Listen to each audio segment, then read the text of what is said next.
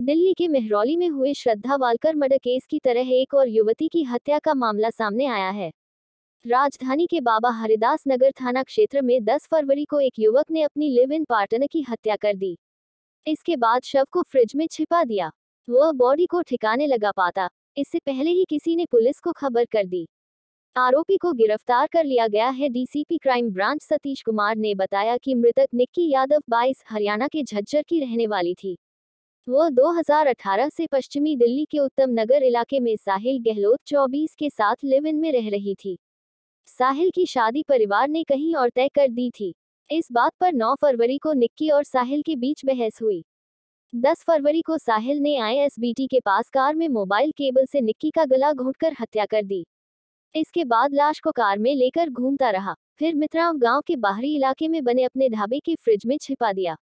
Police को किसी ने ढाबे पर लाश छिपाए जाने की सूचना दी, तब इसका खुलासा हुआ।